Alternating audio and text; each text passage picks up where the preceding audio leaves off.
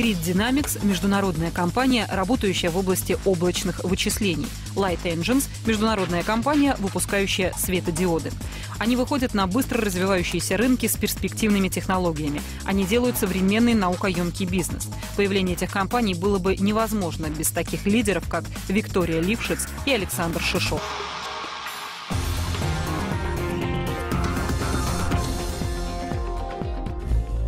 Свой путь в высокотехнологичный бизнес Виктория Лившиц и Александр Шишов начали в переломном для страны 91-м. Он ознаменовался не только серьезными политическими потрясениями, но и ростом интереса к компьютерам. Чтобы прокормить семью, Александр Шишов решил построить свой первый бизнес. С партнерами возил комплектующие из Юго-Восточной Азии и собирал компьютеры в России. Виктория Лившиц в начале 90-х ни о каком бизнесе не думала. Чемпионка Литвы по шахматам и студентка Харьковского мехмата уехала в Соединенные Штаты Америки вместе с мужем и маленьким ребенком, предполагая, что там больше возможностей для роста. Ну, ну так вот четко сформулировать цели, когда тебе 20 лет, жизнь начинается, а страна, в которой ты вырос, под влиянием всяких факторов дезинтегрировалась. Будущее выглядело интересным, будущее выглядело оптимистичным, а Запад оказался доступным. Первые месяцы в США оказались тяжелыми. Виктория с мужем разносили пиццу и работали в химчистке. Едва освоив язык, семья Лившиц все-таки занялась предпринимательством. Открыла в Кливленде шахматную академию. Доходы не были большими, но все же позволили супругам не только жить, но и оплачивать высшее образование. В 1998 году на рынке компьютерной техники появилось множество игроков. Конкуренция повысилась, доходы упали, и Александр Шишов решил переключиться на другие проекты, правда оставаясь в сфере высоких технологий. Заработанные на продаже компьютеров деньги он и его партнеры вложили сразу в несколько проектов, в том числе в телекоммуникационной отрасли и оптоэлектронике. Я встретил команды, которые разбирались в этих областях, выступил в роли э, бизнес-ангела, такое модное нынче слово, тогда оно не было известно, антрепренера, человека, который э, не просто дает деньги на бизнес, но участвует в его первичной раскрутке.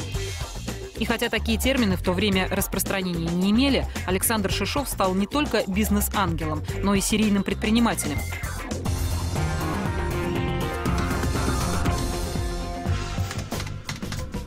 Серийный предприниматель, руководитель, проведший несколько компаний через цикл развития бизнеса от основания до продажи. Такие предприниматели особенно ценятся инвесторами. Два из четырех начатых проектов не раскрутились. Телекоммуникационный проект оказался более успешным, получил несколько раундов инвестиций и в итоге был продан. Но больше всего усилий и внимания потребовал проект по разработке интегральных светодиодов. Инновация заключалась в том, что на одной плате монтировался не один, а десяток осветительных элементов с применением уникальных оптических решений. Конструкция получалась более сложной, но одновременно надежной и дешевой, а мощность освещения от такого источника в 4 раза раза превосходила аналоги. Мы встретили команду специалистов, которые наработали свой опыт еще в советское время. Получился симбиоз, так сказать, э, между специалистами, которые хорошо понимают, как делать бизнес в современных условиях, и людьми, которые э, хорошо разбираются в какой-то предметной области. А в это время Виктория Лившиц начинает свою работу в компании Ford. Карьера складывалась удачно, и через несколько лет Виктории предложили сменить инженерную позицию на менеджерскую. Но она хотела заниматься технологическими разработками, а не управлением. Виктория Лившиц перешла в Sun Microsystems, где познакомилась с концепцией распределенных вычислений. Они, как оказалось, теснейшим образом связаны с принципом «сервис как услуга».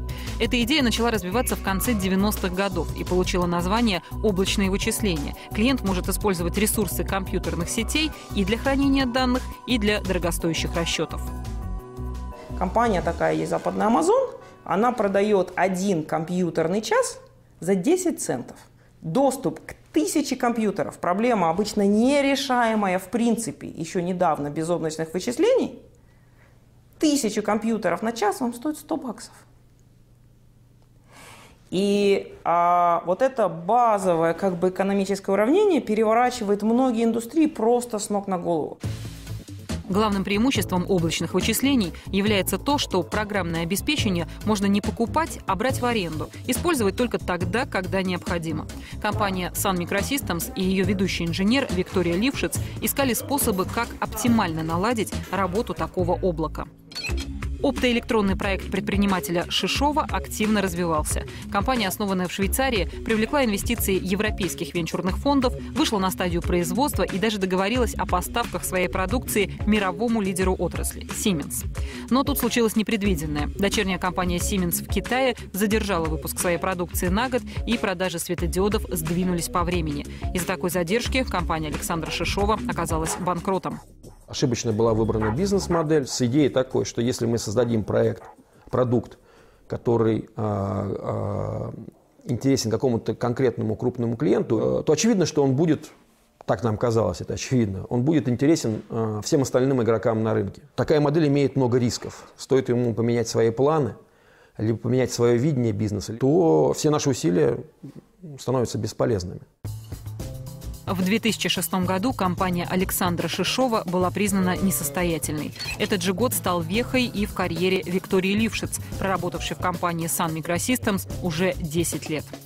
В какой-то момент ты начинаешь видеть более интересный круг задач или более интересный, скажем так, набор решений – чем тот, который предусматривается твоим менеджментом. Стало чувствовать вот, вот, вот беспокойно и дискомфортно, что не удавалось реализовать те как бы, проекты идеи, которые, как мне казалось, висели в воздухе. Главным мотиватором не, не было там, создания прибыли, там, зарабатывания много денег. Скорее, это было желание делать правильные вещи.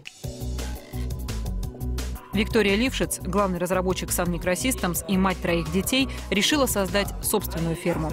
Однако денег инженеру с именем, но без опыта ведения бизнеса инвесторы давать не хотели.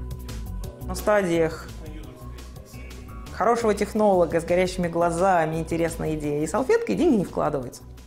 Вот это один из таких мифов, который а, пришлось, а, пришлось как бы, в котором пришлось разобраться очень быстро и, так сказать, на себе. Поскольку я был человек без команды, без опыта, да, без предыдущих success stories, и идея у меня была тоже такая, она мне казалась очевидной, но, как оказалось, совершенно неочевидной всем остальным, то получить финансирование было реально нереально. Всего на 15 тысяч долларов Виктория и ее партнер все же открыли частную фирму, получившую название Grid Dynamics. Правда, амбиции на первое время пришлось придержать. Компания Виктории Лившиц сначала не создавала продукт, а предлагала экспертные консультации. Виктория Лившиц, она такой очень показательный пример э, того предпринимателя, с которым бы мы хотели работать. Во-первых, э, Виктория имеет очень глобальный скажу английское слово vision, то есть глобальное видение того, как будет развиваться компьютерная технология э, во всем мире. Она является признанным технологическим экспертом. И, кроме всего прочего, э, Виктория обладает очень серьезной энергетикой, которая способна э, организовать и сплотить э, команду единомышленников, которая будет работать э, ну, в буквальном смысле слова 24 часа в сутки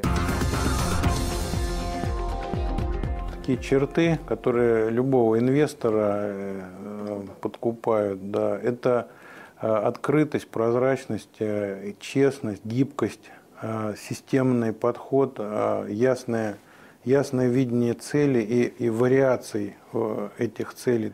Александр и Виктория люди, конечно, совершенно разные, но то, что они совершенно удивительные, заряженные на успех э, люди. Это то, что их объединяет. В 2008 году Александр Шишов вновь занялся светодиодами, поскольку был уверен в технологической основе проекта. Он выкупил патенты у разорившейся компании и с учетом прошлого бизнес-опыта открыл новое предприятие Light Engines. Сегодня это перспективная международная компания, конкурирующая с Philips и Siemens. Этот кластер предназначен для создания светильников для уличного освещения. Вот 8 таких кластеров позволяют заменить, заменить натриевую 205-ваттную э, лампу, которая освещает э, улицы наших городов. Компоненты светодиодных плат поставляют США, Китай и Тайвань. Сборка происходит в Таиланде, а основной рынок сбыта – Европа и Штаты.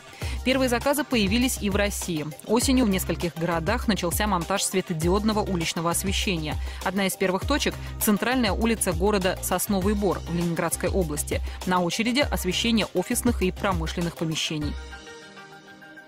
Александр, как и любой предприниматель, которого мы хотим, с кем мы хотим работать, он болеет э, за свое дело. Мы знаем, что это во многом дело его жизни. Он работал в международных компаниях, которые, э, некоторые из которых были успешны, некоторые из которых были менее успешны. Пускай даже на этом э, поприще могли быть какие-то сложности, мы считаем, что любые сложности – это плюс Э, если они ложатся на правильную почву. Жизнь э, предпринимателя, особенно технологического предпринимателя в России, сейчас очень несладкая. И тем ценнее э, результаты, которые которых добиваются некоторые предприниматели, им удается развивать компании свои, они находят и в России клиентов, и за рубежом. Роль э, предпринимателя здесь действительно центральная, потому что за, за предпринимателя никто не сделает его работу. Делать бизнес на родине вернулась и Виктория Лившиц. Пройдя тернистый путь в Кремниевой долине, она поняла, что строить серьезную фирму с мощным научно-исследовательским центром нужно в России. Именно здесь сосредоточены мощные интеллектуальные ресурсы. Так появилась компания «Квестора». На развитие своих проектов Виктория Лившиц и Александр Шишов привлекли венчурные деньги. И Light Engines, и Questora показались интересными менеджерам венчурного подразделения ВТБ «Капитал». И не в последнюю очередь благодаря личностям своих основателей. Те вещи, которые очевидно, что получится, как бы и делать-то неинтересно. В них нету большого value. Value создается, да, когда делается что-то, что никто никогда не сделал до тебя. И есть такое понятие fail fast. Это значит, провались побыстрее. Если не получится, ну, спасибо за попытку. Серийные стартаперы – это люди, которые привыкли жить одну маленькую жизнь в течение трех-пяти лет. А, значит, у этой жизни есть начало, и, соответственно, у этой жизни есть конец. Нужно быть готовым, что ты попадешь в ситуацию, при которой нужно будет очень много учиться. Для меня это нормально. Виктория Лившиц и Александр Шишов не боятся рисковать. Могут работать в условиях постоянной неопределенности. Они не просто первопроходцы, как любые предприниматели, которые пытаются найти свою нишу на рынке. Они создают новую среду. И значит, тем, кто придет в инновационный бизнес после них, будет немного легче.